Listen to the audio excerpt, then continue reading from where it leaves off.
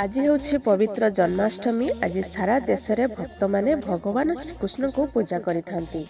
ତେବେ ଜ୍ୟୋତିଷ ଶାସ୍ତ୍ରର ଗଣନା ଅନୁସାରେ ଜନ୍ମାଷ୍ଟମୀରେ ପାଞ୍ଚଟି ରାଶି ଉପରେ ଭଗବାନ ଶିବଙ୍କର ବିଶେଷ କୃପା ବର୍ଷିବାର ଅଛି ଯାହାଦ୍ୱାରା ଏହି ପାଞ୍ଚଟି ରାଶିର ବ୍ୟକ୍ତିମାନଙ୍କର ଭାଗ୍ୟ ଖୋଲିଯିବ ଏବଂ ଏମାନଙ୍କୁ ପ୍ରଚୁର ଧନ ଉପାର୍ଜନର ନୂତନ ସୁଯୋଗ ପ୍ରାପ୍ତ ହେବ।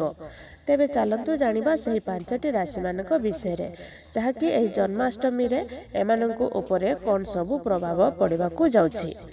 ତେବେ ଭିଡ଼ିଓକୁ ଲାଷ୍ଟ ପର୍ଯ୍ୟନ୍ତ ନିଶ୍ଚୟ ଦେଖନ୍ତୁ ଆଉ ତା ପୂର୍ବରୁ ଭିଡ଼ିଓ ଗୋଟେ ଲାଇକ୍ କରନ୍ତୁ ଆଉ ଏମିତି ପ୍ରତ୍ୟେକ ଦିନ ନୂଆ ନୂଆ ଭିଡ଼ିଓ ଦେଖିବା ପାଇଁ ଚ୍ୟାନେଲକୁ ସବସ୍କ୍ରାଇବ୍ କରି ପାଖରେ ଆସୁଥିବା ଘଣ୍ଟି ଚିହ୍ନକୁ ଦବାଇ ଦିଅନ୍ତୁ।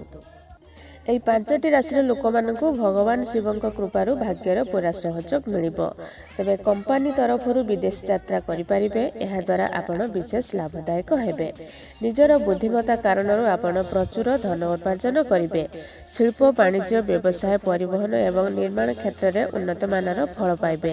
ଏହି ରାଶିର ଲୋକଙ୍କୁ ଭଗବାନ ଶିବଙ୍କ କୃପାରୁ ଉନ୍ନତିର ନୂଆ ଅବସର ମିଳିବ। ବ୍ୟବସାୟ କ୍ଷେତ୍ରରେ ପ୍ରଚୁର ଲାଭ ମିଳିବ। ଅଫିସରେ ଏବଂ ସହକର୍ମୀମାନେ ମାନେ ଆପଣଙ୍କ କାମରେ ପ୍ରଶଂସା କରିବେ। କର୍ମ କ୍ଷେତ୍ରରେ ଆଗେଇ ରହିବେ ଦେହ ଭଲ ରହିବ ଆୟ ଭଲ ହେବ ଅଧିକ ପରିଶ୍ରମ କରନ୍ତୁ ପ୍ରଚୁର ଅର୍ଥ ଲାଭ ମିଳିବ।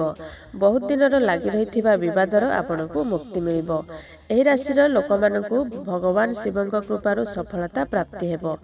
ଲଭ୍ ରିଲେସନ୍ କ୍ଷେତ୍ରରେ ସଫଳ ହେବେ ଦାମ୍ପତ୍ୟ ଜୀବନ ସୁଖମୟ ହେବ ସନ୍ତାନଙ୍କ ଠାରୁ ଭଲ ଖୁସି ଖବର ମିଳିବ ତେବେ ପରିବାରର କୌଣସି ମାଙ୍ଗଳିକ କାର୍ଯ୍ୟ ହେବାକୁ ଯାଉଛି ଏହି ରାଶିର ଲୋକମାନଙ୍କ ଉପରେ ଭଗବାନ ଶିବଙ୍କର ଉଚିତ ଲାଭ ପ୍ରାପ୍ତ କରିବେ କୌଣସି ନୂତନ କାର୍ଯ୍ୟ ଆରମ୍ଭ କରିପାରନ୍ତି ନୂତନ ଯାନବାହନର ଯୋଗ ଅଛି। ଏହି ପାଞ୍ଚଟି ଭାଗ୍ୟଶାଳୀ ରାଶି ଗୁଡ଼ିକ ହେଲା ମୀନ ରାଶି ଧନୁ ରାଶି ମକର ରାଶି କନ୍ୟା ରାଶି କୁମ୍ଭ ରାଶି ଯଦି ଆପଣଙ୍କର ଏହି ରାଶି ମଧ୍ୟରୁ ଅଛି ତାହେଲେ କମେଣ୍ଟ ବକ୍ସରେ ଜୟ ଶ୍ରୀକୃଷ୍ଣ ବୋଲି ନିଶ୍ଚୟ ଲେଖନ୍ତୁ ଏବଂ ଭିଡ଼ିଓ ଗୋଟେ ଲାଇକ୍ କରନ୍ତୁ।